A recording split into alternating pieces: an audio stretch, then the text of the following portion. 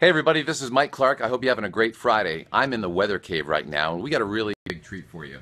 Everyone say hello to Joe DeNardo. How you doing, Joe? I'm not doing bad. Thank you for asking. It's great to see you back in the house. It's nice to be here, but I don't understand the thing that's going on. if that means anything, I, I understand you're you're tutoring Ray right now. I sure am. What's it feel like being back back here in the cave? It's not good. it's not good. Well, it's it's great to see your face back here. Well, listen, it's always nice to be back, and I want to tell the viewers, it's, mu- uh, Raymond certainly knows what he's doing, and uh, I'm getting a briefing and an education today. What's the for, what's the forecast look like for tonight's Kennywood Parade? I have no idea. I That's the it's- beauty of retirement. Right. you don't you don't worry about it. I would say the odds are we're not going to get wet. Great. It looks pretty good. Have you been I can't. I don't like the humidity or the temperatures today, but other than that, it's a pretty good day. And what what time is it going to be going off? The parade? Yeah. Uh, the parade starts at 7:30, and with the humidity, my forecast is I will have better hair than Mike Clark because his is going big. There you go. His is going big tonight. Mine's going to stay right, roughly the same. Roughly Right. the same. But a lot of people are wondering there'll be, there'll be no rain tonight during the parade. Uh, ch- chances are small. Very Um, very small. very small. Absolutely. So what are you guys doing here now? Uh, just looking at the radar. Um, uh, we're talking about the differences between when Joe would put together a forecast and how I put together a forecast. And um, I'll tell you the difference. I'm going to be. The viewers are watching this, right? Yeah. Yeah. I'm going to. I'm going to snitch on him. the difference is this, quite simply. It would take me, when I come in at two o'clock in the afternoon, at least two to three hours to put a good forecast together and get it ready for on the air at five or six. Wow. He can come in for a five o'clock news show. He can come in at four thirty and have it all done, and give a forecast too. I could. That's the way it's all laid out for him anymore. Is it he because- doesn't even have to work. it's unbelievable, and he makes more than I do. What's going on here? There's something wrong with this picture. Joe, that's funny. But but technology really has advanced. Oh, I mean, he it's has, he so has- much so it's unbelievable. It's unbelievable. now The there's only- too much data. I think the only way I could get to him was very simply hand him an instrument. Yeah. And I don't even know if he knows what it is. Have you ever heard of a slide rule? A slide rule for uh, calculating uh, um, differential equations. He's a scientist. That was our computer. Yeah. Right. Hey Joe, I want to tell you. Jamie says, Joe, you look great. Charlene. Tell Charlene Jamie, tell Jamie uh, that's very kind of her. and Charlene says, still looking as handsome as ever. She Oh, grew up God. watching you. Is she? Yeah. Or she did? Yep.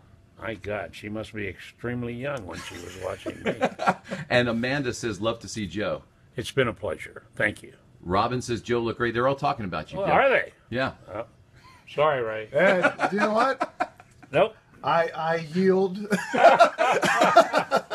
this is really uh, seriously this is really an education for me Yeah. i haven't been on the air for what i guess it's been uh, 11 years now Wow. It does not seem that's like how that. much this has changed really Wow. but i can still get a i can still do a forecast but No, I, no, he- not nearly with the speed he can but- He, he he still puts together forecasts, and when we chat on the weekends, Yes, I know do. when my forecast isn't quite right. 'cause- Well, and i give him little idiosyncrasies about pittsburgh weather and forecasting big snowstorms well, I'm going to talk like a viewer now. With all these tools that Ray has, he should never get it wrong, right? Well, tools are one thing, accuracy is another. when you consider the expansiveness of the atmosphere, it's difficult for even a computer to put all that together. Yeah. More viewers, Joe. Sharon says, we miss you, Joe. Chuck says, I grew up watching Joe. And Chris says, nice to see Joe. Oh, are these viewers at home? yeah, they're talking to him live. Is that right? Yeah. Patty Ah. Lucas says, hi, Joe. You look great. She's very kind. Pat Chafee says, hey, Pat Joe. Chafee. Yeah, we were just Local three. I remember him. Do you remember Pat? I remember Pat. Absolutely. He says, you look fabulous. Miss you. Pat the stagehand. I absolutely. I remember him. Local three. Absolutely. He might have been one of the best lefty ball players I've ever seen hit a ball. Is that right? Yeah, I saw him play softball. I was trying to think of one of the stagehands who let the snow fall on me, and I can't think of his name. Maybe Pat will remember one of these days. Well, Pat's watching. Pat, if you know who the stagehand was who let the snow fall Put the just snow, put the bag and box up there and open it up when I was doing some weather, and winter weather forecast, and look, it was snowing.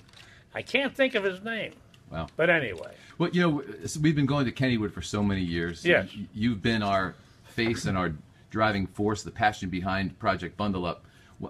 What are some of the best memories you've had of both Kennywood and Bundle Up over the years? well, uh, there was one fella, we called him Eddie, and uh, he was there from morning until night on Kennywood Day, TAE Day, and uh, I think Eddie must have taken. Uh, I think this is going to be like my forty-some parade. All right. And uh, I think Eddie had a picture of me every parade we ever went to. And all of a sudden, you start to remember these people, Yeah. which is scary, you know. And you start to remember. But there's a lot of pleasant memories. It's got to feel good that you've been you've been a part of people's lives for so many long, a couple generations too. Well, oh, yes, at least. And uh, I got to tell you something. This place, Channel 4, was extremely, and still is, extremely good to me. And uh, I'll never forget that. Of course, I was good for them as well. It was a two way street. And uh, that's why I like to come out. Yeah. I like to talk to Ray and learn things. And uh, You're still mentoring the little guys here, the young guys. I don't mentor anymore. No. He's, he's helping me. I'm finding out how little work he'll do. and Well- what little time it'll take for him I'm to do what making it look as hard as I possibly And I can. walked in here today. This doesn't even look like a studio. Yeah. But we, as as we knew it. It's like the Starship Enterprise. right? Absolutely. I I was looking for Spock. Well, I tell you this: when you walked in the newsroom today, everyone just smiled. They said, "Joe's here, Joe." Yeah. There was a great big buzz. It was it was like the king is back. It's really nice to come back. It really is. I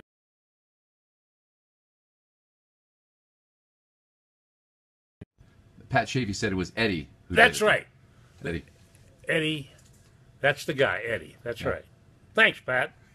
Appreciate it. Well, thank you, Joe, for spending some time with us. Uh, anything you want to impart on our Facebook friends watching you right now? No, just keep watching. Ray's a great meteorologist, and he'll give you the right information. All right. Thanks, guys. Thank you.